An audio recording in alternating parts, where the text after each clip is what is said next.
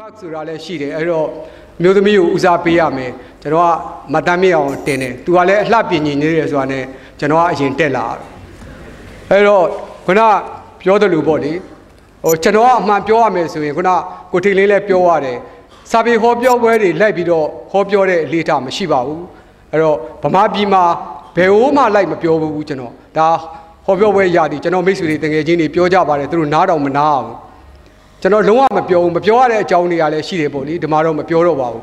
အဲ့တော့ဒါပေမဲ့ဗမာပြည်မှာညင်းလို့ရရင်မဲ့ကျွန်တော်မနစ်ကလန်ဒန်ရောက်သွားတော့ညင်းလို့မရဘူးလန်ဒန်ရောက်သွားတော့ကျွန်တော်ဟောပြောပွဲတစ်ခုဒါကိုတိန်လင်းရပဲယုံသွင်းမှာကျွန်တော်နဲ့ခင်အောင်အေးပေါ့လေကြပြရွတ်ဖို့ကျွန်တော်တို့ကမနစ်ကအောက်တိုဘာမှာပေါ့လေလန်ဒန်ရောက်သွားပြီးတော့ကြပြကိုတပတ်လောက်လှည့်ပြီးတော့ရွတ်တယ်အင်္ဂလန်မှာနောက်ကြတော့သူ့အိမ်ပေါ်မှာကျွန်တော်တပတ်လောက်တောင်းတင်းနေတယ်လန်ဒန်မှာလဲဖို့ပတ်ဖို့ပေါ့ အဲ့တော့ तू ကကျွန်တော်ကလည်းညင်းကျင်ပေမဲ့ညင်းလို့မရဘူးသူ့အိမ်ပေါ်ခေါ်တင်ကျွေးထားတော့ကျွန်တော်ကလည်းလက်ခံလိုက်ရတယ်အဲ့ဒါနဲ့ကျွန်တော်လည်းဇက်ပြက်သွားတယ်ဆိုတော့လန်ဒန်မှာဇက်ပြက်တာပါအဲ့တော့အဲ့တော့ရေကိုဒီမှာကြတော့ညင်းမယ်ဆိုရင် तू ကလည်းပြောဦးမယ်ခင်ဗျလန်ဒန်တုန်းကပြောပြီးဒါဒီမေဇလီကုန်းကြမှာညင်းရလားဆိုပြီးတော့အဲ့တော့ကျွန်တော်တစ်ချက်မေးပါတယ် तू ကတယ်လီဖုန်းဆက်ပြောတယ်ကိုရဲ့စာပေခေါ်ပြောပဲတခုတဲ့ရှိတယ်ခင်ဗျလက်ခံပေးပါတဲ့အဲကျွန်တော်က ဘယ်ပွဲလဲကျွန်တော်မေးတာပေါ့လေဘယ်ပွဲလဲဆိုတော့ဘူအောင်ကျော်စိန်ရတူးတဲ့အဲ့တော့ကျွန်တော်ကဒီလိုပွဲမျိုးကတော့ခုနလည်းသူပြောသွားပါပြီဘူအောင်ကျော်ရဲ့အရှင်ကဘလောက်ကြီးတယ်လဲဆိုတာကျွန်တော်တို့ငယ်ငယ်တည်းကိုကလေးစားရတဲ့ပုဂ္ဂိုလ်အဲ့တော့ဒီလိုပွဲမျိုးဆိုရင်တော့ကိုတိတ်လေးတိတ်ပြီးတော့ကြီးကြီးကျယ်ကျယ်ဖိတ်เสียရမလို့လက်ဖြောက်တီးလိုက်ရင်တော့ကျွန်တော်တို့ကအမိနဲ့လာမယ်ပွဲပဲဟုတ်လားအဲ့တော့ဒီပွဲမျိုးဆိုတော့ဟုတ်ပြီကျွန်တော်လက်ခံမယ်ကျွန်တော်တိတ်သဘောကျတယ်ဒီလိုပွဲမျိုးပြောခွင့်ရမယ်ဆိုကျွန်တော်အရန်ကုန်ယူတယ် အဲ့တော့ဘ누구တွေနဲ့ပြောရမှာလဲကျွန်တော်ကအဲ့လိုပွဲလဲရွေးပါတယ်လူလဲနည်းနည်းရွေးပါတယ်အမှန်တိုင်းပြောရမယ်ဆိုရင်ဒီမတိုင်မင်မနှစ်ကလည်းကျွန်တော်ပွဲတစ်ပွဲပြောရတယ်ညင်းလို့မရလို့အဲ့ဒါဘာပွဲလဲဆိုတော့ဝါခဲမမလုတ်တဲ့စာကြည့်တိုက်ဖွင့်ပွဲပေါ့လေဥနုစာကြည့်တိုက်ဥနုကလည်းကျွန်တော်လေးစားတဲ့ခုနဟိုနိုင်ငံရေးသမားတွေမှာတူပါဝင်ပါပဲဥနုရဲ့စာအုပ်မိတ်ဆက်ပွဲလေးဟုံးမှာလုတ်တယ်အာဟုံးမှာလုတ်တော့ ဟိုတာတေစနေသားဆိုတဲ့စာအုပ်ပေါ့လေအဲ့တော့မိတ်ဆက်ပွဲမှာကျွန်တော်သွားစကားပြောရတယ်အဲ့ဒီပွဲရောက်လာတဲ့ဥနုသမီးတွေဒေါ်ဆဆန်းနုတို့ဒေါ်တတနုတို့ကကျွန်တော်စကားပြောပုံကိုသဘောကျသွားတယ်ထင်ပါတယ်ကျွန်တော်ကလည်းပြောတယ်ဗိုလ်ချုပ်ကိုလွတ်လပ်ရေးပြည်သူ့ကာလို့ပြောမဲ့ပြောလို့ရှိရင်အဲ့ဒါဥနုကိုလည်းကျွန်တော်ကတော့ဒါဒီမိုကရေစီရဲ့ပြည်သူ့ကာလို့ပြောခြင်းတယ်ဆိုတာအဲ့ဒီလုံးနဲ့ပဲသဘောကျသွားလားမသိဘူးဒီချိန်ကလူတွေကတော်တော်များလာတော့အဲ့မှာလက်ကုပ်ထတီးကြတာအဲ့ဒါနဲ့ဒေါ်တတနုကဒီဝါခေမမှာဥနုစာကြည့်တဲ့ ဖွင့်ပွဲလုပ်တော့ကျွန်တော်ကိုဖိတ်ပါတယ်အဲ့တော့ကျွန်တော်လည်းမငင်းပါဘူးကျွန်တော်လေးစားတဲ့ပုံကိုယ်တွေလည်းဖြစ်တယ်နောက်ပြီးတော့ဟိုစာကြည့်တိုက်ပေါ့လေစာကြည့်တိုက်ဆိုတာလည်းဒါကျွန်တော်အသေးနှုံးကိုတော်တော်ကိုဆွဲယူနိုင်တဲ့ကိစ္စပါအဲ့ဒါနဲ့အဲ့ဒီမှာကျွန်တော်သွားပြောပါတယ်ဒီပွဲမှာလည်းဒီလိုပဲကျွန်တော်ကဒါဘိုးအောင်ကျော်ပွဲဆိုတော့ဟုတ်ပြီဒါပေမဲ့ဘသူတွေနဲ့တွဲပြောရမှာလဲကျွန်တော်ကဒါမေးသေးတယ်ကျွန်တော်ကပွဲရွေးတယ်လူရွေးတယ်ဆိုတော့အဲ့ခုနမင်းကိုနိုင်နဲ့ အာတမ်းမြေအောင်နဲ့ဒါကတော့ရွေးစရာကျွန်တော်တို့ညင်းစရာအကြောင်းမရှိဘူးကျွန်တော်ဒါနှစ်ပေါင်းများစွာခင်လာတဲ့ညီဒီညီမတွေနောက်ဂျင်မီခုဒါနောက်တိုးတာပေါ့လေအဲ့တော့ဒါသူတို့ကငယ်ပင်ငယ်တော်လဲကျွန်တော်အမှန်တန်လေးစားတဲ့လူတွေเนาะအပြင်မှာလဲချစ်ပါတယ်ချစ်တယ်ဆိုတာကျွန်တော်တို့ဟိုကြပြာရေးတဲ့သူအချင်းချင်းမလို့အဲ့တော့ကျွန်တော်ကဟုတ်ပြီလာပြီဆိုပြီးတော့ကျွန်တော်ဒီရောက်လာတာပေါ့လေအဲ့တော့ဒီဟောပြောပွဲစင်ပေါ်တက်လာတယ်အဲ့တော့ခုနပြောသလိုပဲအဲ့တော့ဒီရောက်လာတဲ့အခါကျတော့ ဒီမေဇလီဂုံးသားတွေနဲ့ပတ်သက်လို့ကျွန်တော်မှလည်းဒီပဋ္ဌာန်းဆက်ရှိတာလေးတော့ကျွန်တော်နည်းနည်းပြောချင်ပါတယ်ခုနဒါကိုထိန်လင်းပေါ့လေဒါကိုထိန်လင်းဆိုတဲ့ဒါကျွန်တော် ਨੇ ဟိုတော်တော်ကြီးကိုခင်မကြီးတဲ့ပုံကူပါပဲเนาะသူကလည်းခုနဒါဘီကီလည်းခုနပြောသွားပါပြီကိုထိန်လင်းကလည်းဘယ်လိုဖြစ်လဲဆိုတော့ तू ကမေဇလီဂုံးသား तू ကចောင်းသားအရွယ်လောက်တဲကိုကဘိုးအောင်ကျော်နဲ့ပတ်သက်ပြီးတော့ဒီအချိတ်ခဲတွေရှိတယ်เนาะဘိုးအောင်ကျော်ကိုခုန နေကျက်လက်ပါစီရောစစ်ဘာဒီတွေကနေပြီးတော့ရိုက်လို့ဒါကြဆုံးသွားတယ်ဆိုတော့ဘရစ်ရှတ်နေကျက်ပေါ်တူကအညိုးတေးတော်တော်ကြီးကြီးမားမားနဲ့ကြိုရင်ကလေးစားချေဖို့ကြိုးစားနေပုံရတယ်အဲ့ဒါနောက်ဆုံးမှဘရစ်ရှတ်တမတ်ခိုးပြေးတဲ့ဘဝရောက်အဲ့ဒါတော့ तू က तू ကတော့အမှန်ကျိသေးတယ်ဗျကျွန်တော်က Elizabeth ဘီမလောက်မှန်တာတာတဲ့ तू လင်ယူတာစောသွားလို့တဲ့အဲအဲ့တော့ကျွန်တော်ကသူ့တွေ့တော့မေးပါတယ်အခုအိမ်တော်ကြပြီးတော့လဲ ကိုထိတ်လေးခမရောခေါင်းနံပါတ်တုတ်တဲ့ရိုက်ခါလားဆိုအဲ့တော့ तू ကဟိုနံပါတ်တုတ်တဲ့တော့ရိုက်ပခါပါဘူးဗျာတခါတည်းလေးစိတ်ဆိုးရတော့ခေါင်းခောက်တယ်တဲ့အဲ့တော့ဒါကခုနမက်ဆီဒီဂုံးသားတွေရဲ့တတ်တီပေါ့လေနောက်ခုနတက်သွားတဲ့မျက်မြင့်မှုဒါလည်းမျက်မြင့်မှုလည်းနှစ်ပေါင်းများစွာရန်ကုန်တက်လာကျွန်တော်ညီတွေလိုပါပဲကြပြရေးကြတယ်ကြပြရေးတော့ခင်နေအဲ့တော့ခင်တော့သူတို့ကလည်းလွန်ခဲ့တဲ့အနှစ်30လောက်ကထောက်ထောက်ထောက်ထောက်နေပြကြပြရေးပြီး သူနဲ့တွဲတဲ့အားရှိသေးတယ်မြင်ဦးမြင့်အခုဇာညွှန်းရေးတဲ့မြင်ဦးမြင့်ပဲအဲ့သူတို့နှစ်ယောက်ကခုနကြပြလဲရေးလူလဲလူငယ်20ကျော်တွေဆိုတော့ထောင်းထောင်းထောင်းထောင်းကျွန်တော်လည်းသိကြည့်မရအောင်သိကြည့်မရတော့မိဘွားလာတော့မိဘွားလည်းတကယ်ချင်းကိုခင်စော်ရေးကျွန်တော်ကြပြလောကမှာကြည့်မရတဲ့လူနှစ်ယောက်ရှိတယ်ဘသူတွေလဲတဲ့အာမြတ်မြင့်မုံနဲ့မြည်ဦးမြင့်ပဲဆိုတော့ဒါဆိုကျွန်တော်တောင်းဝင်ထားပြတဲ့အဲသူရုပ်ရှင်နဲ့ဆွဲသွင်းလိုက်တာနဲ့အခုဇာညိုးရတဲ့ဘဝရောက်သွားပြီးတော့ကြပြမရေးနိုင်တော့ဘူးပေါ့လေ အဲ့ဒါလဲအမှားတော့ကျွန်တော်ဖွင့်ဝေခံတာပါအမှားတော့ကျွန်တော်လက်ချက်ပါဒါပေမဲ့ तू ကလည်းခုနဘာဖြစ်လို့လဲဆိုတော့ခတ်သေးသေးမဟုတ်ပါဘူးခုနမက်ဇလီကုန်းသားတွေကြောက်ရတယ်ဆိုတာအခုဒိတ်ဒိတ်ကျဲနော်ဗိုလ်ချုပ်ဇာညွန်းတော်မှာတက်ရေးနေတဲ့လူပေါ့နောက်သူတို့နဲ့အတူတူနော်မက်ဇလီကုန်းသားတယောက်လာပြန်ရောစောတွေရောနော်ကြပြရေးတယ်စောတွေရောသူပဲပတ်သက်လာတယ်တပါလေသူနဲ့ပတ်သက်ရောက်လာတယ်ကိုရတယ်သူတကယ်ချင်းမြင်းဦးမြင့်စီမှာတပည့်ခံအဲမြင်းဦးမြင့်မြတ်တပည့်ခံပြီးတော့သွားလျာမှာတကောက်ကောက်တွေ့တယ်စောတွေရောစောတွေရော မကြပါဘူးမြင်းဦးမြင့်ညီမကိုခိုးပြေးပါလေရောအဲ့တော့ဗက်ဇလီကုန်းသားတွေကြောက်ရတယ်ဆိုတာအဲ့ဒါပဲခင်ဗျာနောက်အဲ့တော့နောက်တစ်ယောက်ရှိပါသေးတယ်เนาะကျွန်တော်တကယ်ချင်းပဲကြပြရေးတာလွန်ခဲ့တဲ့အနှစ်40ကိုကဒါဖိုးသိမ့်လင်းเนาะကျွန်တော်ပြောတာဒီမဲလူကုန်းသားတွေနဲ့ကျွန်တော်ဖိုးသိမ့်လင်းဆိုတာလည်းမှာတော့ပို့သေးသေးမဟုတ်ဘူးဘာဖြစ်လို့လဲဆိုတော့မဲဇလီကုန်းသားတွေမှာဒါတာမညောင်ကြမဟုတ်ဘူးခုနဆီယာမကြီးဒေါ်တန်းထင်းနဲ့မောက်တဝင်းဝဲပဲတော်ပါတယ် ဒါဘိုးအောင်ကျော်ရဲ့တူရင်းပဲတော့တူရင်းကဖိုးသိမ့်လင်းဆိုတာအခုတော့ကျွန်တော်တို့ ਨੇ ကြပြရေးတယ်လွန်ခဲ့တဲ့အနှစ်40လောက်တည်းက90ခုနှစ်တွိုက်တည်းကအခုတော့ तू ကမြန်မာ post channel မှာအတိုင်ပင်က editor ပါတန်းနိုင်ဝင်းဆိုတာဒါဖိုးသိမ့်လင်းပါပဲ तू ကလည်းခုနဩဘာနာမည်နဲ့စာရေးပါတယ်အဲ့တော့ तू ကလည်းသူစာပြပါတယ်ဒါမက်ဆီလီကုန်းသားဇာတိပေါ့လေဘာဖြစ်လဲဆိုတော့ကျွန်တော်ဖတ်ဆပ်ပလောက်မှာနေတယ်ဘာလုပ်လဲဆိုတော့ तू က သူတို့နားကဗလီစီယာသမီးခိုးပြေးတယ်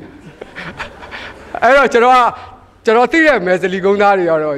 ကြောက်စရာတိတ်ကောင်းတာပေါ့အဲ့တော့ခဏပြောသူတို့မလာပဲလဲမနေရဲဘူးအဲ့တော့ရောက်လာတယ်ခုနပြောပါသေးတယ်ကိုလှကိုနော်ကြပြားသမားတွေတော်တော်များများရှိတယ်မက်ဆီလီကုန်းမှာအဲ့တော့စောတေဝေါ်တို့ဒါကိုလှကိုတို့ကဆုံးသွားပြီဒီရောက်တော့ကျွန်တော်နည်းနည်းဝင်းနေတာတစ်ခုရှိတယ်ဝင်းနေတာတစ်ခုရှိတယ်ဆိုတော့ခုနဒီမက်ဆီလီကုန်းဆိုတာကြပြားဆရာတွေအများကြီးထွက်တယ် နောက်ကျွန်တော်တို့မြစ်ဆိုးလိုက်နော်ဒါတက်တူကကျွန်တော်တို့ဒါပမောက္ခဘွားနဲ့ပြင်ဆင်ယူသွားတာပါခင်တရမှာအဲ့တော့ကျွန်တော်ဝိဇ္ဇာသိပ္ပံကောလိပ်ကပါမြစ်ဆိုးလိုက်ဆိုတာလေဒါမက်ဆီလီကုန်းသားပဲ तू ကကျွန်တော်တို့မြောက်ကလာပြောင်းလာပြီးတော့ဝေမုံလာမှာနေတော့ကျွန်တော်တို့ ਨੇ နီးပါတယ်သူမိမနုနုကြီးဒါတက်တူဆရာမပါပဲကျွန်တော်ညီမတွေနဲ့တဒန်းနဲ့ညီမစာအဓိကနဲ့เนาะဒါကြောင်းပေးကြတာဆိုတော့သူတို့နဲ့လည်းခင်ပါတယ်အဲ့တော့မြေဆိုးလိုက်ဆိုလဲကြပြားတွေရေးတယ်တော့တကူဘာသာပြန်ကြပြားစာအုပ်တွေရောဘာတွေရော အဲ့တော့ကျွန်တော်ကြည့်တာအဲ့လိုကြပြားဆရာမျိုးဆက်နော်အဆက်မပြတ်ထွက်ပေါ်နေတယ်ဒါပေမဲ့အခုကျွန်တော်တွေ့ရတာဇောဒီဝေါ်တို့မြတ်မြတ်ဘူးတို့နောက်ပိုင်းမှာကြပြားဆရာမတွေ့ရတာလောက်ဖြစ်သွားတယ်တော်တော်ဝင်းနေတယ်ကျွန်တော်ရောက်လို့ရှိရင်ခုနဘတ်တန်တော်သွားတယ်နော်900ဘန်းနဲ့ကျွန်တော်တို့စာကြည့်တဲ့ရှိမှာဟိုလေရောက်နေတဲ့လူကလာမိတ်ဆက်တယ်ကျွန်တော်ကြပြားဆရာပါတဲ့သူ့ကြပြားလေးတွေလည်းကျွန်တော်တို့ဟိုဖိုတိုစတိုက်နဲ့ကူလာပြီးလာပေးပါတယ်ပြပါတယ်ဒီမှာကျွန်တော်လိုက်စုံစမ်းကြည့်တယ်ကြပြားရေးတဲ့လူများရှိသလားတော့ကျွန်တော် ကိုကိုကိုတော့ဒါကြပြလောကမှာတော့အထင်ကြီးရထင်တာပေါ့လေလာမိတ်ဆက်မယ်ထင်တာဘယ်သူမှလည်းလာမိတ်မဆက်ဘူးကြောက်တောင်တောင်နိုင်နေပေါ့လေအဲ့တော့ဒါပေမဲ့ခုနကျွန်တော်ခုနအားနည်းနည်းရှိသွားတာခုနဆီယာမကြီးဒေါ်တန်းထေးတို့စာကြည့်တဲ့ရောက်သွားတယ်စာကြည့်တဲ့ရောက်သွားတဲ့အခါကျတော့ခုနမေးကြည့်ပါတယ်ကျွန်တော်ဒါကဟိုတနေ့ကိုအယောက်30လောက်ငှားရတယ်ဆိုတော့ဒါဆိုဒါမနှဲဘူးစာဖတ်ပိတ်သက်တော်ဓမ္မရှိဖို့ရှိပုံရတယ်ပေါ့လေဒါဆိုစာပေမျိုးဆက်မပြတ်ဘူးပေါ့လေခုန ခုနအခမ်းအနားမှုပြောသွားတဲ့ထဲမှာလည်းပါတယ်ဘူအောင်ကျော်အမွေဆိုတဲ့ထဲမှာဘူအောင်ကျော်ကစာပေအမှန်ချစ်မြတ်နိုးတယ်အဲ့တော့စာပေမြတ်နိုးတဲ့ပရိသတ်တွေလည်းကျွန်တော်တို့เนาะစာပေရေးသားတဲ့လူတွေလည်းဒီမယ်ဇလီကုန်းမှာမပြတ်ရှိနေစေခြင်းနဲ့ဒါလည်းဘူအောင်ကျော်ရဲ့အမွေကိုလက်ဆင့်ကမ်းတဲ့နီးတနီးလိုပဲကျွန်တော်ယူဆပါတယ်ဒါပေမဲ့ကျွန်တော်ဒီထိတ်ကိုဒီဟောပြောပွဲဒီဟောပြောပွဲလာဖို့ပေါ့လေရောက်လာတဲ့အခါကျတော့ဟိုမှာကလေးတွေသွားတွေ့တယ်စာအုပ်ရောက်နေတဲ့ကလေးတွေ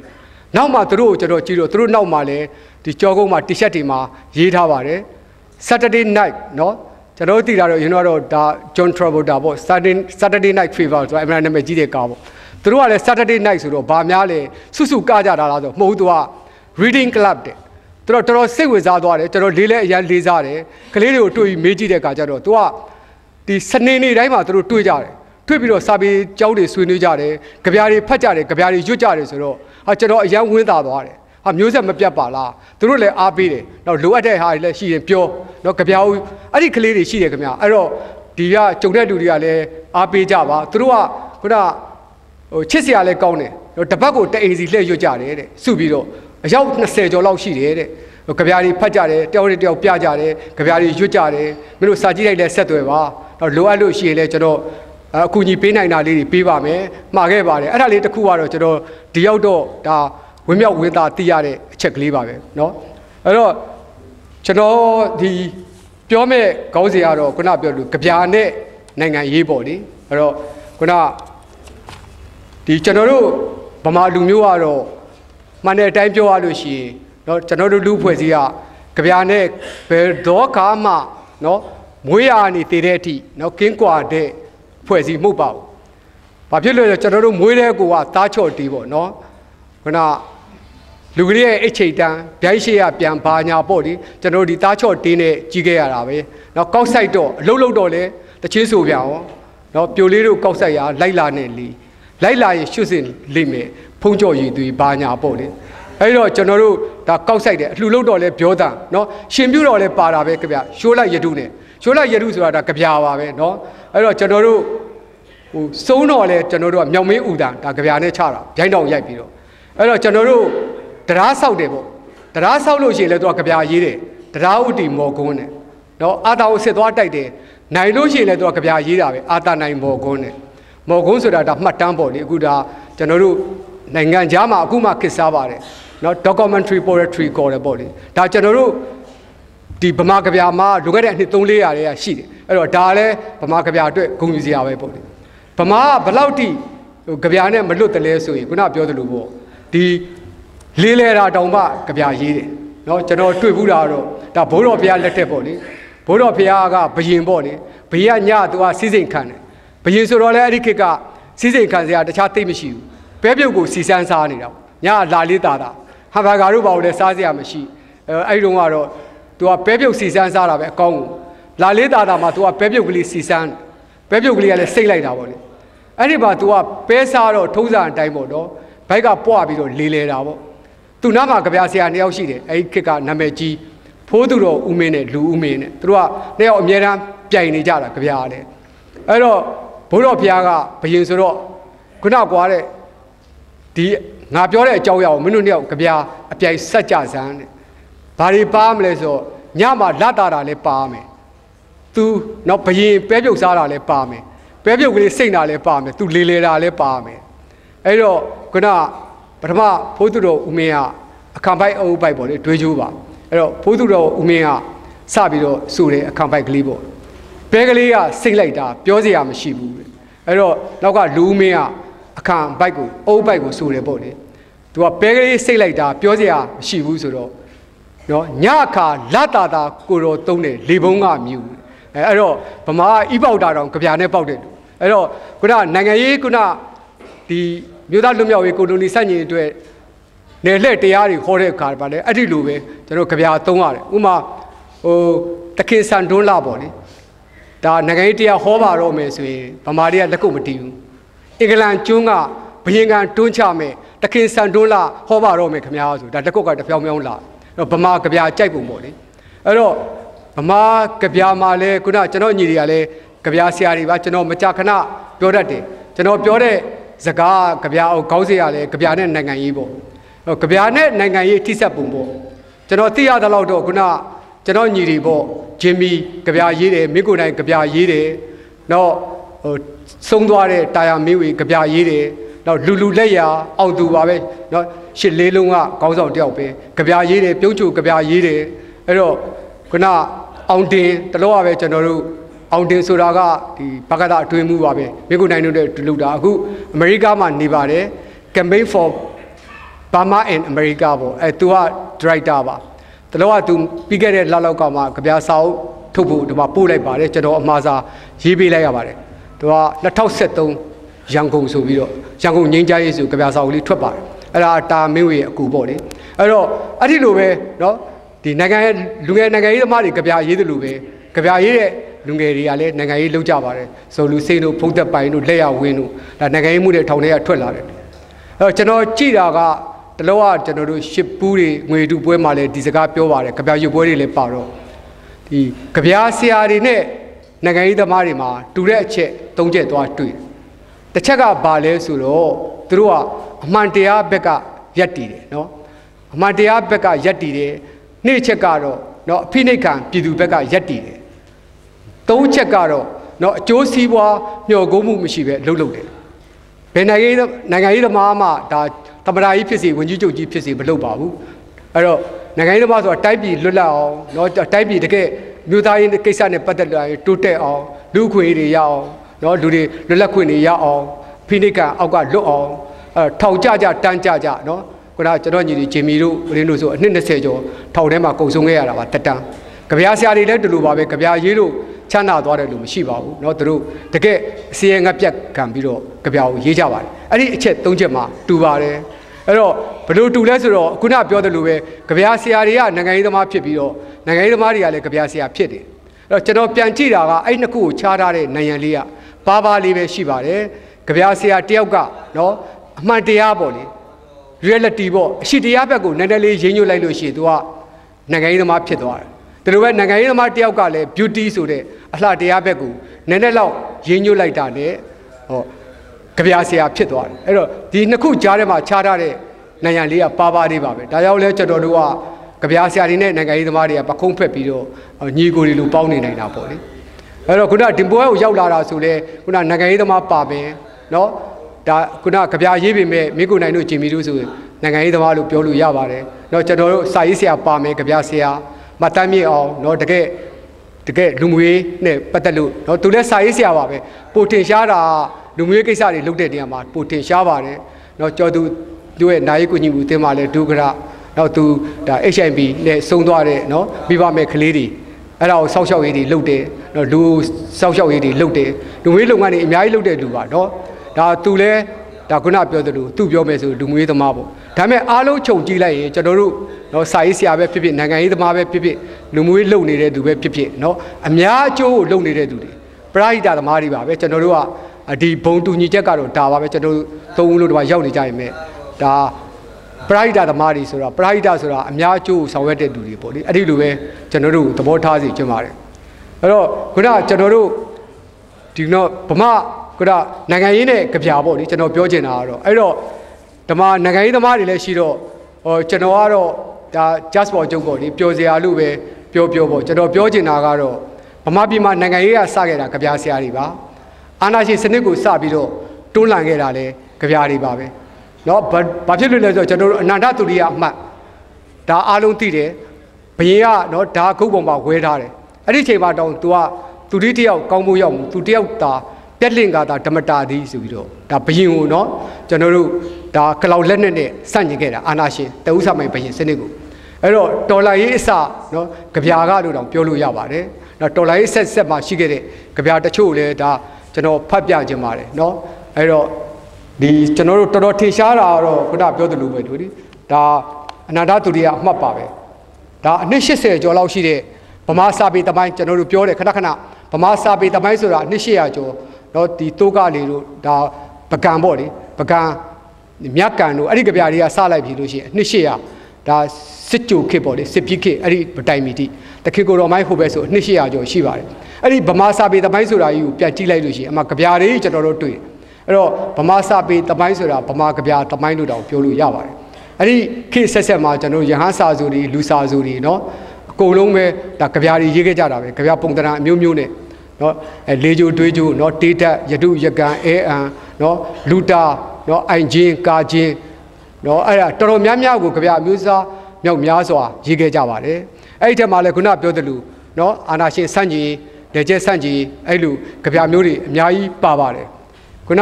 ဒါဟိုရင်းမဲ့အနာဒတုရိယအမှတ်ကြီးရဲ့ကြပြမှာပဲတော်ထေရှားပါတယ်သူဒီတယောက်ကောင်းဖို့ရောက်မှုသူတယောက်မှာပြက်လင့်ကတာဓမ္မတာသည်နော်အဲ့တော့ ရွှေအိမ်နှန်းနဲ့ကြငန်းလဲခံမှတ်ပေါင်းရန်လျက်ပျော်ဆန်ရိတ်ငိမ်စီးစိမ်မကွာမင်းချမ်းသာကသမုတ်တရားရေမျက်နာတဲ့ခဏတက်သည်ရေဘွက်ပမာတသက်လျက်သည်ဘရစ်ရဲ့စီးစိမ်တောင်မှ तू ကဒါတယော်ပလိုက်တာပေါ့လေဒသမုတ်တရားပေါ်မှာထခဏတက်တဲ့ရေဘွက်ကလေးလိုပဲဆိုပြီးတော့ဒါသေကန်ဤဆဲဆဲနော်ကျွန်တော်တို့တတ်မိတ်လဲပေးထားပြီဘကွဲအာနာတာအနားမှာစောင့်နေတဲ့အချိန်မှာအဲ့ဒီလိုဘယင်ကိုတရားပြပြီးတော့ရေးသွားနိုင်ပါတယ်အဲ့ဒီတော့ကျွန်တော်တို့ ဒါခုနကိုလိုနီစက်ကြီးအမျိုးသားလွတ်မြောက်ရေးပေါ့နော်တိုက်ပွဲတစ်လျှောက်လုံးမှာအမှန်တန်ထင်ရှားတဲ့ကြပြစာစုကြီးကတော့ဒါဆရာကြီးသခင်ကိုတော်မိုက်မှာအားလုံးကျွန်တော်တို့ကဒါတော်တော်စံထားတဲ့ဆရာကြီးပေါ့လေကြပြလောကမှာဆရာကြီးလို့ဟောပြောနိုင်တဲ့လူကတော့ကျွန်တော်သဘောပြောရမယ်ဆိုရင်ဆရာကြီးသခင်ကိုတော်မိုက်တယောက်ပဲရှိပါတယ်ဆရာဇော်ကြီးကျွန်တော်အမှန်တန်ကြီးညိုပါတယ်ဆရာမင်းသူဝင်ဆရာကြီးဒါဆရာကြီးသခင်ကိုတော်မိုက်ရဲ့နောက်အဆက်ပေါ့လေသူတို့တော်တော်ထင်ရှားတဲ့ဆရာကြီးတွေပါပဲကျွန်တော်အမြဲတမ်း လက်အုပ်ချီနေရတဲ့ဆရာကြီးတွေပါဒါပေမဲ့ဆရာဇော်ကြီးကိုကျွန်တော်ဆရာကြီးဇော်ကြီးလို့ပြောမယ်ဆိုရင်ကန့်ကွက်မဲ့လူရှိကောင်းရှိနိုင်ပါတယ်ဆရာကြီးတခင်ကိုတော်မိုင်းလို့ပြောရင်တော့ကန့်ကွက်မဲ့လူမရှိပါဘူးတကယ်ကို तू ကခုနဒီကြပြပေါ့လေအမှုပညာလိုင်းမှာဆိုရင်နိုင်ငံရေးကိုလန်ခင်ပေးခဲ့တယ်လို့ပြောလို့ရပါတယ်အဲ့တော့ तू ကလည်းခုနပြောသလိုသူခေပေါ့လေကိုနိုလီနေရဲ့ဆက်ကျင်ခေတ္တလျှောက်မှာသူဖြတ်တန်းခဲ့သမျှနိုင်ငံရေးအတွေ့အကြုံတွေအဖြစ်အပျက်တွေကို မျက်ခြေမပြတ်ဘဲနဲ့မှတ်တမ်းတင်သွားပါတယ်အင်မတန်လဲတာဝန်ကျေတဲ့ပုံကိုကြီးလို့ပြောလို့ရပါတယ်ဥမာတောင်သူလက်သမားအရေးတော်ပုံပေါ့လေနော်ဆရာဆန်တပုံထားတယ်အဲ့ဒီမှာ तू ကရကုံစံချစ်စရာတပည့်တို့မှာဖြစ်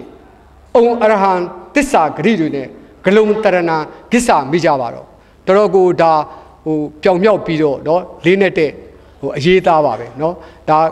ဆရာဆန်ဦးစီးတဲ့ဂလုံတပုံကိုထိုက်ကြောဖို့တောင်ကောင်းတယ်ဟုတ်ပါတယ်အဲ့ဒီတော့ကကျွန်တော်တို့က ဒါတနတ်ကောနော်အင်အားရောအမှန်တန်ကွာပါတယ်ဗြိတိရှစစ်တပ်နဲ့ဆိုလို့ရှိရင်ဟော तू ကခုနပြောသလိုသူတို့ကဒီတောင်သူလယ်သမားတွေကမခံနိုင်လုံးအားကြည့်လို့နော်လေကုန်တွေကောက်နော်လူကုန်တွေကောက်ရှိသမျှလက်နက်ကလေးတွေနဲ့နော်ဓာတ်လှန်ဆွဲပြီးတော့တော်လှန်တိုက်ခတ်ခဲ့တယ်ဆိုတော့ဒါတကယ်ကိုတတိပြောင်ပြောက်ပြီးတော့ချီကျူးတင်တဲ့ဒါတော်လှန်ရေးပါပဲအဲ့တော့ကျွန်တော်တို့ University တက္ကသိုလ်ကျောင်းသားတွေဘိုင်းကောက်ပေါ်တပိတ်မှောက်တယ်အဲ့ဒီတော့လေဆရာကြီးကခုနပြောသလိုဟို ကျွန်တော်တို့လစ်လို့မရှိပါဘူးသူကြပြာနဲ့မှတ်တမ်းတင်ခဲ့တာပါပဲ။အော်ခရီးကအော်ဝေးခရီးကပြီးမဲ့အရေးကြီးလျင်ဖြင့်သွေးနည်းရာပါစမြဲပြီမှုဆရာကလည်းကွာပထမအရင်ကနဦးစီကမြမတခွင်မှာ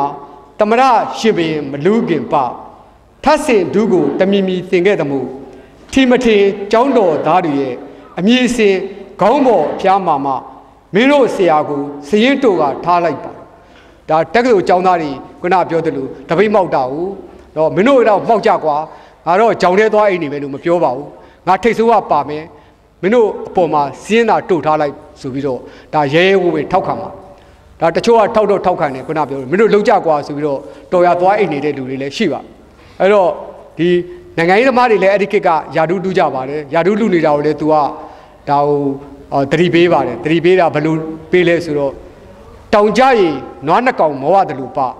မောင်ဘတ်ပီ9000မရတာ9000မရတာကြောက်ဆိုပြီးတော့ခုနပြောသလိုဒီ9000စားအမှတ်ပေါ့လေယာဒူးကိုအလူရဲ့ဖြစ်နေကြတဲ့ဟာကိုသူကတယောခဲ့တာနောက်ဒီဩဝါဒကထာမှာလည်းအဲ့ဒီခေတ်ကလည်းနိုင်ငံရေးကောင်းဆောင်တွေသဘောထားကွဲကြတယ်မညီမညွတ်ဖြစ်ကြတယ်တိုင်းပြည်ကเนาะကျွန်တော်တို့အမျိုးသားညီညွတ်ရေးအရင်အရေးကြီးတယ်ဘာဖြစ်လို့လဲဆိုတော့ဒါအမျိုးသားညီညွတ်ရေးရမှလွတ်လပ်ရေးရရမှာ အဲ့ဒီအချိန်မျိုးမှာခေါင်းဆောင်တွေကသဘောထားမျိုးမျိုးကွဲနေတယ်ဆိုတာကိုသူကဒါတိတ်ပြီးတော့မကြည့်ရနိုင်ဘူးမကြည့်ရနိုင်တဲ့အတွက်သူကဩဝါဒတူကြပြားဆိုပြီးတော့ဩဝါဒဆိုတာတော့ဟိုဆုံးမညွှန်ကြားတဲ့ကြပြားပေါ့လေအဲ့တော့မငြိမ်မညွတ်ဖြစ်နေတဲ့ဒုဒုခေါင်းဆောင်တွေကိုသူကလည်းခေါင်းဆောင်နေမိသက်ကိုအခိုက်တွေမှခေါင်းဆောင်နေရှင်းတဲ့ကိုမလိုက်ပြန်တော့အရေးထိုတို့၌အခိုက်အခွင့်မဟန်အိုကွယ်ခွေးလိုကြိုက်ချင်တဲ့ဇယက်အကျင့်တန်းဆိုပြီးတော့တော်တော်ကို ပြောင်ပြောင်တင်းတင်းနဲ့เนาะဒါဆုံးမခဲ့တာပါပဲအဲ့တော့သူမို့လို့ဒါပြောရတာပါပဲเนาะတုံတောင်လူကလည်းပြောရင်ဒါခံမှာမဟုတ်ဘူးအာပြောရကြောက်အောင်ဆိုတာလည်း तू ကခုနပြောသလိုတကယ်နိုင်ငံရေးလုပ်နေတဲ့လူတွေအားလုံးကသူ့လက်ထွက်သူ့တပည့်တွေကြီးပဲဒါကြောင့်လဲ तू ကဩဇာပါဝါရှိရှိနဲ့ပြောနိုင်ဆိုနိုင်ခဲ့တာအဲ့တော့ဒါအချုပ်တန်းဆရာပြီပေါ့နော်အဲ့တော့ခုနပြောသလိုစီပန်းနီဆရာတော်သူတို့လည်းဒါကျွန်တော်တို့တီဘောမင်းဒါပါတော်မူသွားတယ်ဆိုရင် ဒါစီပန်းနီဆရာတော်ကတော်တော်ထင်ရှားတဲ့နော်မန္တလေးပြက်နော်မန္တလေးပြက်တော့ရေးခဲ့တဲ့ကြပြရှိပါတယ်တော်တော်များများသိကြပါလိမ့်မယ်ကြပြလည်းတော်တော်ကောင်းပါတယ်ထီသုံးနန်းသုံးမြို့သုံးတုံညသုံးတုံဝဖြစ်သုံးရပြန်လက်တုံညခေဝဲဖြစ်လာရလေတို့တတွေသည်သေတော်မှသည်အော်ကောင်း၏သူကြုံဖြစ်ရတာတဲ့နော်အာသေရတာပိုကောင်းတယ်ဆိုပြီးတော့ဒါတော်တော်ကိုဟိုရဲရဲဝံ့ဝံ့ရေးခဲ့တာပါ အဲ့တော့အချုပ်တန်းဆရာဖေကလည်းခုနတပြိုင်တည်းတည်းကြပြရေးပါတယ်အချုပ်တန်းဆရာဖေဆိုတာဥပုံညာနဲ့ခစ်ပြိုင်ပါပဲသူကတော့ကျွန်တော်တို့နိုင်ငံရေးနဲ့ပတ်သက်တဲ့เนาะဟိုကြပြတွေအမြင်တွေကိုရေးတာပုံများပါတယ်အချုပ်တန်းဆရာဖေကလည်းဒီခုနဟိုကျွန်တော်တို့ထိနှမ်းပြောက်ခဲ့တဲ့ကိစ္စဟာဗမာတွေစီကမရှိလို့လို့ तू ကအဲ့တဲကမြင်ပါတယ်အဲ့တော့ तू ကသူ့ရဲ့တေးတက်ပေါ့သူရေးတဲ့ပုံစံကတော့တေးတက်လို့ခေါ်ပါတယ်အဲ့တော့ဘယ်လိုရေးလဲဆိုတော့เนาะ မြန်မာတွေစီကံဖောက်လို့ထိနှမ်းပြောက်ဖြစ်ပြီးမိညာထောက်အသက်မိတယ်မြစ်ပလီလူမျိုးမိပြစ်လို့ဖရှောက်တွေ့သည်ခွားကောင်နေခွေးပြစ်တော်ပြူတဲ့ခုနခုနဟိုစီပန်းနေဆရာတော်လိုပါပဲเนาะသူတို့လည်းဒါပြင်းပြင်းထန်ထန်ပြောခဲ့ပါတယ်အဲ့တော့ဒီဘက်ဒီဘက်ကရောက်လာတဲ့အခါကျတော့เนาะဟိုဆရာတကုံတာယာပေါ့လေဆရာတကုံတာတို့ဆိုလို့ရှိရင်ခုနစာပေသစ်ဆိုပြီးတော့เนาะ ဒါလက်ဝဲဝါဒမျိုးစေ့ကိုကျွန်တော်တို့ဗမာစာပေလောကဗမာကြပြလောကမှာတော်တော်စောစောချပေးခဲ့တဲ့ဒါဆရာတွေပါပဲเนาะအဲ့တော့ခုနသူ့နောက်မှာလိုက်လာတော့ဆရာတောင်းတယ်ဆိုလို့ပေါ့ဆရာတကုံတာတို့ကအဲ့ဒီတော့ကတော့ကျွန်တော်တို့လက်ဝဲလက်ရဆိုပြီးတော့စာပေလောကမှာတိုက်ပွဲကတော်တော်ကြီးကြီးမားမားရှိပါတယ်အဲ့တော့ဟိုဒီသူတို့ပြောတာကတော့ခုန up for a shake ပေါ့လေနောက် up for puber shake ဆိုပြီးတော့အနုပညာဒီပြည်သူအတွက်ဖြစ်ရမယ်ဆိုတဲ့ gain နဲ့အနုပညာအနုပညာအတွက်ဖြစ်ရမယ်ဆိုတဲ့ gain ပေါ့တော့ထင်ရှားတာကတော့ဒီဘက်ကလက်ဝဲ gain ကတော့ဆရာဦးသိပ်ဖေမင်းတို့ဆရာတကုံတာတို့ပါပဲเนาะဒီနောက်ပိုင်းဆက်လာတော့သူတို့မွေကိုစက္ကနာကဒီဆရာအောင်လင်းတို့ဆရာရောင်ဘတ်ဆွေတို့ဒီလက်ရ gain သမားတွေကတော့ဆရာတင့်တယ်တို့ဆရာဥတာတို့တို့ပါသူတို့ကတော့လက်ရ gain သားတွေပေါ့အဲသူတို့နောက်စက္ကနာတော့ဆရာတက်တုတ်ဖုံးနိုင်ပေါ့လေအဲအဲ့ဒီတုန်းကတော့ဒါ အနုပညာသည်ပြည်သူအတွက်ဖြစ်ရမယ်အနုပညာသည်ပြည်သူအနုပညာအတွက်ဖြစ်ရမယ်ဆိုတဲ့အယူဆတွေပြင်းပြင်းထန်ထန်တိုက်ပွဲဖြစ်ခဲ့မှုပါတယ်အဲ့ဒါအဲ့ဒီအချိန်ကဒါဆရာခုနတကုံတာယာကဒီစာပေတဲ့လမ်းကြောင်းကိုစပြီးတော့ဖောက်ပေးခဲ့တာပါဗမာစာပေလောကမှာအဲ့ဒီမတိုင်ခင်ကတော့ကျွန်တော်တို့ဟိုဆရာဇော်ကြီးတို့ရဲ့ခစ်ဆန်းပေါ့လေခစ်ဆန်းဆိုတာကတော့သူက romanticism ပေါ့ romanticism ဆိုတော့ကျွန်တော်တို့ဗာလေဆရာဇော်ကြီးကတော့ဘဝအလွမ်း ဘဝအမောဝါရလို့သူကဒါညှို့ပါတယ်ဘာသာပြန်ပါတယ် romantic ကိုသူကတော့တဘာဝဘွဲ့ပါပဲเนาะ naturalism လို့လည်းခေါ်တယ်ဟောတဘာဝဘွဲ့ကိုပဲသူကအဖွဲတွေများပါတယ်လူတဘာဝအဖွဲပေါ့အဲ့ဒီတော့လူဒန်းစားအမြင်မပါပါဘူးဆရာတကုံတာတို့ခစ်ကြမှာเนาะအဲ့ဒီမှာကျွန်တော်တို့ကဘိုးကျော်အောင်ဆန်းတို့ကအစပေါ့လေဒီចောင်းသားလူငယ်တွေကလည်းလက်ဝဲဝါဒကိုလေ့လာတယ်လက်ဝဲဝါဒကိုလေ့လာရင်လည်းလက်ဝဲဝါဒယူဆတွေကစာပေလောကတွေကိုစိတ်ဝင်လာတာပါပဲအဲ့တော့ အဲ့တော့ဒါဆရာတကုံတာရပေါ့လေသူနောက်ဆက်ခဏကတော့ဆရာတောင်းတယ်စီပေါ့ဆရာတောင်းတယ်စီလို့ကြတော့ဒါသူတို့ကပြည်သူကြပြာဆိုပြီးတော့အဲ့ဒီနာမည်နဲ့သူတို့ကလှုပ်ရှားပါတယ်အဲ့ဒီနောက်ပိုင်းမိုးဝေခေရောက်လာတဲ့အခါကျတော့တော်လန်ကြပြာပေါ့တော်လန်ကြပြာဆိုတာတော့ကိုသိန်းအောင်ခိုင်တို့ကိုလေးအောင်တို့နောက်ကြတော့နိုင်ငံတကာကြပြာနိုင်ငံတကာကြပြာပေါ့လေအဲ့ဒီအထိရောက်လာပါတယ်နောက်ပိုင်းမှာအဲ့ဒီနောက်ပိုင်းမှာတော့ကျွန်တော်တို့တော်တော်များများက ပြန်ကြည့်မယ်ဆိုလို့ရှိရင်60နှစ်နောက်ပိုင်းမှာဒါမဆလာကနော်ကျွန်တော်တို့စစ်တပ်ကအာဏာသိမ်းလိုက်တယ်မဆလာပါတီထူထောင်လာတဲ့အခါကျတော့ကျွန်တော်တို့မှာဟိုဘက်ပိုင်းကနော်ရှိခဲ့တဲ့စာပေလွတ်လပ်ခွင့်တွေလုံးဝစိတ်သုံးသွားပါတယ်စိတ်သုံးသွားတယ်ဆိုတာကျွန်တော်တို့ဥနုလက်ထက်ကဆိုလို့ရှိရင်ဖဆပလလက်ထက်ကအရှိတော်အာရှမှာစာပေလွတ်လပ်ခွင့်ရှိတဲ့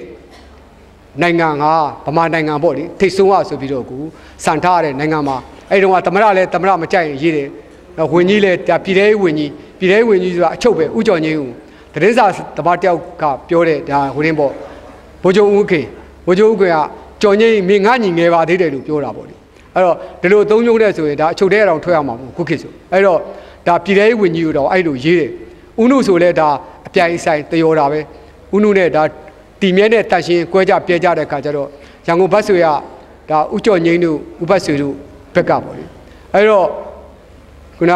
ဘယ်လိုရေးလဲဆိုတော့ရန်ကုန်ဘတ်ဆွေကကိုကြီးကောင်းဆိုပြီးတော့ဥနုကိုတယောပြီးရေးပါတယ်เนาะတကြီးအနေနဲ့ပေါ့လေရွာတရားတကြီးအနေနဲ့အဲ့တော့အဲ့ဒါမှလည်းဒီဆွဲတဲ့ဥပတ်ရင်လေးကစမျက်နှာဖုံးပုံကဥနုပုံကိုပြပြဟိုပြပြတတကိုဆွဲထားတာပါပဲဒါပေမဲ့ဒီဥနုကရေးယူလေးမရှိပါဘူးဒါပေမဲ့ဟိုအဲ့ဒီခေတ်ကရေးယူတာရောမရှိဘူးလားဆိုတော့ရှိပါတယ်။ဘာဆရာဗမော်တယောင်တို့ဆိုရင်ခဏခဏရေးယူခံရပါတယ်။ ဦးနုတို့ဘာလို့ဆိုတာဒါသဘောထားကြီးတယ်ပေါ့လေ။သူတို့က personal ရဒါသူတို့ရေးလာလို့ရှိရင်ဒါတဦးချင်းတဲ့သဘောနဲ့လည်းဆိုင်နေပေါ့သူတို့ကအရေးယူမှုမရှိပါဘူးဒါပေမဲ့ဆရာဗမော်တင်အောင်တို့နော်ဆရာမြတ်တန်းတင်းတို့အဲ့ဒီခေတ်တည်းကဆရာအောင်လင်းတို့ဆိုလဲခဏခဏမပြည်တော်သားခေခင်ဥတို့တို့ဝတ္ထုမျိုးပေါ့လေတပုံကြီးလိုဝတ္ထုမျိုးနဲ့ဒါထောင်ကြတန်းကြကိုကိုကျွန်းပုကအဲ့ဒါတွေရှိခဲ့ပါတယ်အဲ့ဒါတော့အစိုးရကနော်သူရေးယူတာပေါ့အစိုးရကိုအကြည်ညိုပြက်အောင်ရေးမှုနဲ့အဲ့ဒီပြဿနာတွေရှိပေမဲ့ ကျွန်တော်တို့စာပေစီစီဆိုတာမရှိပြီးတော့လွတ်လွတ်လပ်လပ်ရေးနိုင်ပါတယ်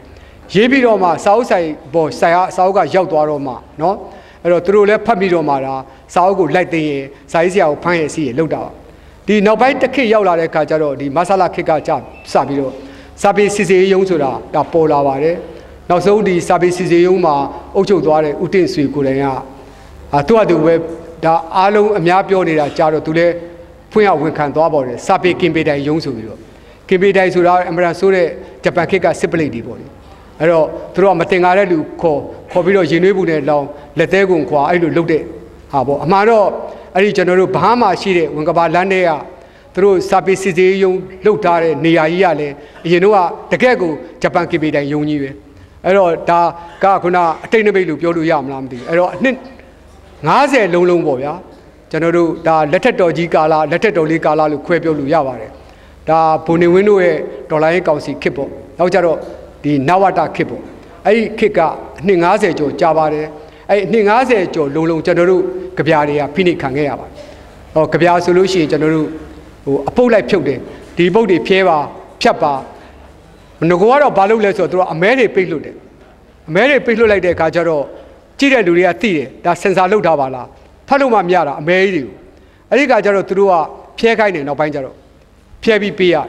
ဟောဖြဲတော့လေခုနနောက်ကျတော့သူတို့ကပြောပြအောင်ဖြဲတဲ့အခါကျတော့စာမျက်နှာကြော်သွားတာကြော်သွားတဲ့အခါကျတော့ဒါစင်ဆာလုပ်တယ်လို့စင်ဆာလာလုပ်တယ်သူတို့ကစင်ဆာလုပ်တယ်လို့လေသူတို့ကအတိမခံကြည့်ဘူးအဲ့ဒီကကျတော့အစ်စ်ပြန်ပြန်ရိုက်ရတယ်အစ်စ်ပြန်ပြန်ရိုက်ရတယ်ဆိုတော့ဒါစက်ကုတို့ပိုးလဲနာတယ်ဒီနစ်နာဆုံးရှုံးမှုတွေအများကြီးရှိတယ်နောက်ပိုင်းကျတော့သူတို့ကအဲ့တော့တင်ထုတ်ဖြစ်သွားတယ်အားလုံးမထုတ်ဝေခင်မှာအရင်တင်ပါတင်ပြီးတော့မှအဲ့ဒီမှာသူကဖြတ်တော်တာဒီကြပြားတော့မသုံးရဘူးဒီဝိထုတော့ ဒါပယ်တယ်ပေါ့လေသူတို့ခွင့်ပြုချက်ရားမှာပဲကျွန်တော်တို့သုံးရပါတယ်အဲ့တော့လူလူရှိရောက်လာပြီးလူလူဖတ်ရတာကတကယ်ကျွန်တော်တို့ရေးချင်တဲ့ဟာတွေမှုတ်တော့သူတို့ဖြတ်တောက်ထားတဲ့ဟာတွေသူတို့မြင်စေရင်တာတွေလောက်ပဲကျွန်တော်တို့မြင်ခဲ့ရတယ်အဲ့ဒါကြီးနဲ့ကျွန်တော်တို့ကအနှစ်90လောက်နေခဲ့ရပါတယ်အဲ့တော့အခါအဆုံးကတော့ကြပြာဆရာတွေပေါ့လေအဲ့တော့ဘာဖြစ်လဲဆိုတော့ဒီကိစ္စတွေနဲ့ပတ်သက်လို့ကျွန်တော်ကဟိုတာမဏိမိုးကောင်းခင်ကြီးအောက်မှာဆိုပြီးတော့เนาะကျွန်တော်တို့ ဟိုကြပြာဆောင်းပါးလေးတွေရေးနေပါတယ်လှိုက်တဲ့မဂ္ဂဇင်းမှာပြီးခဲ့တဲ့လစပြီးပါတယ်အခန်းဆက်အနေနဲ့ရေးမှာပါစောင့်ဖတ်လို့လည်းရပါတယ်ကြပြားတွေဘလို့ဟိုအဖြတ်တောက်ခံခဲ့ရတယ်ဆိုတဲ့အကြောင်းလေးတွေပေါ့လေအဲ့ဒါလေးတွေလည်းကျွန်တော်ရေးနေပါတယ်အဲ့တော့အဲ့ကြပြားရေးယုံနဲ့အဲ့ဒီခေတ်မှာเนาะအခုတော့ဒါနိုင်ငံရေးလို့လို့ထောင်ကြတယ်ပေါ့ဒီအဲ့ဒီခေတ်မှာကကျွန်တော်တို့ကြပြားရေးလို့ထောင်ကြသွားတဲ့လူတွေကျွန်တော်တို့အများကြီးပဲကျွန်တော်တို့တငယ်ချင်းရွှေရတောင်ကုန်းအဲ့တော့ကြပြားဘယ်လိုရေးလဲဆိုတော့သူတို့က အဲ့လိုပုံတိတ်ဖော်ပြလို့မရတော့ဘူးဆိုတဲ့အခါကျတော့ကျွန်တော်တို့ကလက်ရည်မြင့်ကူးစာအုပ်ကလေးတွေလုပ်ပါတယ်ကိုကကိုဖျောင်းမှရေးတယ်ဖျောင်းမှရေးပြီးတော့ guestner နဲ့လှည့်ပါတယ်လှည့်ပြီးတဲ့အခါကျတော့ကျွန်တော်တို့က live ဝီဖတ်တယ်အဲ့ဒါလည်းဖမ်းတာပဲဖမ်းတယ်ဆိုတော့ကျွန်တော်တို့အဲ့ဒါရွှေရတောင်ကုတ်တို့တူနဲ့တန်ကြပြစာအုပ်နဲ့ရွှေရတောင်ကုတ်တို့အုပ်စုထောင်ကြပါတယ်နောက်ကောက်ွယ်ကနောင်တို့အုပ်စုဟင်္ဒရာအုပ်စုပဲဟင်္ဒရာအုပ်စုကဆိုလို့ရှိရင်တော်တော်များပါတယ်10ရောက်လား12ရောက်လားမသိအတွဲလိုက်ကိုကြနောက်မောင်နီညွန်းဒလာတို့အုပ်စု အဲ့တော့ဝင်းလက်နောက်ဝင်းလက်ဆိုလို့ရှိရင်တော်တော်ထင်ရှားပါတယ်ရှုထောင့်ဂျာနယ်မှာသူပါတဲ့နော်ဟိုမျက်လက်ဆရာလင်မယားဆိုတဲ့ကြပြကြောင့်နော်သူဒါရှုထောင့်ဂျာနယ်အက်ဒီတာဦးဝင်းခက်လည်းအဖမ်းခံရပါတယ်ဝင်းလက်လည်းအဖမ်းခံရပါတယ်ထောင်ကြတယ်ရှုထောင့်ဂျာနယ်လည်းအပိတ်ခံအဲ့တော့ခုနဖြစ်ပုံကဒါမျက်လက်ဆရာလင်မယားဆိုတာဝင်းလက်ကြီးကလည်းကျွန်တော်တို့ဥနေဝင်းတို့လင်မယားကိုစောင့်ချိတ်ရေးထားတာအဲ့ဒီခေတ်တုန်းကတော့ခုနပြောသလိုစဉ်းစားမတင်ရသေးဘူး ဟိုတကယ်လို့သူတို့ညှိတယ်ထင်လို့ရှိရင်အဲ့ဒီကြပြာစာရွက်ကိုဖျဲရဖျဲပြီးသူတို့အားအထက်ကကြတော့ခုနဖျဲတဲ့အခါကျတော့စောင်ရင်9000ရိုက်တယ်ဆိုသူတို့ကိုကျွန်တော်တို့ကစောင်ရင်9000တီတီအားအဲ့9000ကိုရည်ယူတယ်ရောလို့မရအောင်အဲ့ဒီတော့ခက်တာဟိုရှုတော့ဂျာနယ်ကလည်းအချိန်မီထွက်ဖို့အရေးကြီးတယ်ရေးကြီးတော့တိုက်ကကြပြာဆရာတွေကိုခေါ်ပြီးတော့ဟိုဖျက်ခိုင်းတာပေါ့ကု ஞ் ကြီးခိုင်းတာပေါ့ကြပြာဝိုင်းဖျက်ကြရင်အုပ်ရီ၄9000ဆိုတော့အဲ့တော့ဖျဲပြီးရင်ကြပြာဆရာတွေကအဲ့ဒါကိုကိုလွယ်ရဲကိုထဲ ကိုထက်ပြီးလမ်းပေါ်လဲရောက်ကိုရှောက်ဝေရောအဲ့ဒီမှာပြဿနာတက်တော့တာပြဿနာတက်တော့အဲ့ရှုတော့ဂျာနယ်လည်းအပိတ်ခံရပါတယ်ကိုဝင်းခက်လည်းဒါဖမ်းခံရတယ်ကိုဝင်းလက်လည်းဖမ်းခါအဲ့လိုအမှုမျိုးတွေကျွန်တော်တို့ဒါအများကြီးရှိတယ်ပေါ့လေဗမာကဗျာဆရာတွေကအဲ့တော့ကျွန်တော်ပြောချင်တာကတော့ဒါကတော့ကျွန်တော်ခုနပြောတဲ့ခစ်ပေါ်ခစ်ပြိုင်ကြပြဆရာတွေဟာအပြီးဆုံးသေးတဲ့တိုက်ပွဲတွေပေါ့လေဒါဒီမိုကရေစီရေးတိုက်ပွဲပေါ့နော်ခုနတကယ်လူခွေတိုက်ပွဲတွေကိုဆက်ပြီးဆင်နွှဲနေကြတော့မှာပဲ အဲ့ဒီဆင်နွှဲနေတဲ့တိုက်ပွဲတွေကိုနော်ကျွန်တော်စပြီးတော့သွေးတဲ့ခင်းပေးခဲ့တာဘိုးအောင်ကျော်ပါပဲဘိုးအောင်ကျော်ရဲ့ဒါကျေးဇူးတွေကတော့ကျွန်တော်တို့ဒါဘယ်လို့မှမေ့လို့မရတဲ့ကျေးဇူးတွေခုနကိုအောင်ဟိုကျွန်တော်တို့ကိုထိန်နေလဲပြောသွားပါပြီနော်သူ့အမွေကိုဆက်ခံနိုင်မှုဒီကလူငယ်တွေ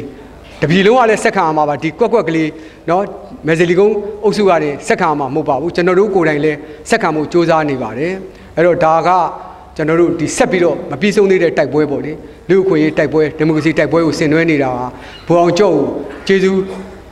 ခုနဆက်ရရောက်တယ်လို့ပဲကျွန်တော်ဒါယူဆပါတယ်အဲ့တော့ဒါနောက်ဆုံးအနေနဲ့တော့ကျွန်တော်ကြပြလေးတစ်ပုဒ်ဟိုဖတ်ပြခြင်းပါတယ်အဲ့ဒါဟိုခုနကျွန်တော်ဟိုမှာတော့ဖတ်ပြီးပါပြီဘိုးအောင်ကျော်တန်းကြီးဆိုတဲ့ကြပြလေးပါကျွန်တော်တို့အင်မတန်လေးစားတဲ့တော့ကိုလေးအောင်သူလည်းကွယ်လွန်သွားပါပြီသူကကြပြလေးတစ်ပုဒ်ဘိုးအောင်ကျော်ကိုဂုဏ်ပြုတဲ့အနေနဲ့ရေးပါတယ်ဘိုးအောင်ကျော်တန်းကြီးဆိုတဲ့ကြပြမနေ့ကကျွန်တော်တို့ ဒါဖျားပေါ်မှာလုတ်တဲ့အခမ်းအနားမှာလည်းကျွန်တော်ဖတ်ပြပြီးပါပြီခုဒီကိုထိန်လေးကတောင်းဆိုလို့ပါအဲ့တော့သူကဘာဖြစ်လဲဆိုတော့ကျွန်တော်ပြောမဲ့ကောင်းစဉ်ကခုနကြပြနဲ့နိုင်ငံရေးဆိုတော့ဒီကြပြလေးထပ်ဖတ်ပြပါဗျာတဲ့ဟောမုံကဝယ်စားတဲ့ကမှာခင်းရီတောင်းတယ်လို့ပေါ့လေသူကလည်းအဲ့ဒါတောင်းတယ်အဲ့နဲ့ကျွန်တော်လည်းဟုတ်ပါပြီကျွန်တော်ဖတ်ပြပါမယ်ဒီထဲမှာတော့အ내ကပွဲကိုမတက်ရောက်ခဲ့တဲ့လူတွေလည်းရှိမှာပေါ့လေအဲ့တော့ဒီလူတွေလည်းနားထောင်အောင်ဆိုတော့ကျွန်တော်ဖတ်ပြပါမယ် အဲ့တော့ဘိုးအောင်ကျော်တန်းချင်းမှာကြပြကနော်တင်းတင်းကြိုက်ထားတဲ့ငါရဲ့နှကန်းဟာဗျံကနေကွဲထွက်ပြီးသွေးအဆက်ဆက်စီးလိမ့်လာတယ်ငါအန်ကိုကြိတ်ပြီးလက်သီးကြစ်ကြစ်ဆုံးမိတယ်ဒီနေရာမှာရဲဘော်ဟာကြဆုံးခဲ့တယ်ကတ္တရာလမ်းကိုခွာရာဇဝင်ရေးရသူတေသနာလုပ်ရင် ရဲဘော်ရဲ့ဂုံမုတ်ကိုတွေးရမယ်ရဲဘော်ရဲ့သွေးဆက်ကိုတွေးရမယ်ဘသူညှင်းနိုင်တယ်လဲစီးစင်းခဲ့တဲ့ရဲဘော်ရဲ့သွေးတွေအကြောင်းစကစပါတာကတ်ရဲ့ဂုံရောင်ကုန်းပေါင်တပုံဂလုံဆရာဆန်ငွေရင်ဘန်ထရိုင်အတိုင်းမသိသောခြေခွေပါတာစသောအာဇန်နီထောင်တောင်းတို့နဲ့အတူတရားတဲ့ပြည်သူတွေရဲ့တိုက်ပွဲမှာရဲဘော်ဟာသွေးဟာหนีရဲခဲ့တယ် သူတို့ကရဲဘော်ရဲ့ဂုံထူးထူးကိုဖော်ကျူးဖို့ရင်းဆန်နေကြတယ်ဘသူတွေရှိအောင်မှလဲရဲဘော်မုန်းတဲ့သူတွေသူတို့မုန်းတာကိုရဲဘော်ကစိမ့်ကားတဲ့အပြုံးနဲ့ပြုံးမှာပဲယုံနေပြည်သူချစ်တဲ့အာဇာနည်နှစ်ဟာဘယ်ခေတ်မှမဆိုနှုတ်ပြိုစိမ့်လန်းနေဘိုးအောင်ကျော်ရဲဘော်ဒီနေရာမှာတို့ဟာရဲဘော်ကိုအချိန်ချင်းဂုံပြုတယ်ဘိုးအောင်ကျော်ရဲဘော်ဒီနေရာမှာ တို့ဟာစာရွက်တွေဝေဘူးတယ်ရဲဘော်ရဲ့အခန်းဆက်တိုက်ပွဲရဲဘော်ရဲ့တရားတဲ့တိုက်ပွဲအကြောင်းဒီနေရာကိုလာပြီးရဲဘော်စီစဉ်ခဲ့တဲ့နေရတဲ့သွေးဆက်တွေပေါ်မှာငါဖြူပတ်ဖြူရတဲ့မျက်ရည်နဲ့သူရတတ်တိမဲ့တဲ့ရှိုက်တန်နဲ့ရဲဘော်ရဲ့ဂုံခန်းခန်းကိုညစ်တွန်းအောင်ငါမလုပ်ဘူးကြပြာတပုတ်ဟုတ်တယ်ငါကြပြာတပုတ်ရဲဘော်ရဲ့ဂုံကိုဖော်ထုတ်ဖို့ကြိုးပမ်းတဲ့ကြပြာတပုတ် လက်ခံမှာရဲဘော်အော်ဟစ်ပြီးငါပန်ကြားတယ်ဒီကြပြာဟာငါကြပြာမဟုတ်ဘူးပြန်ညင်းပြရစီဖတ်ကြည့်စမ်းလေစီစီထနဲ့သွေးဆက်တွေရဲ့ဘု து သွေးလဲရဲဘော်ရဲ့ပူနွေးတဲ့သွေးတွေမချောက်သေးတဲ့သွေးတွေအိုရဲဘော်ရဲ့သွေးဆက်ဆက်နဲ့ရဲရဲလက်လက်တီရှက်ထားတဲ့ရဲဘော်ရဲ့ကြပြပါပဲရေးသူကမောင်လေးအောင်ဖြစ်ပါတယ်ခင်ဗျာအားလုံးကျေးဇူးတင်ပါတယ်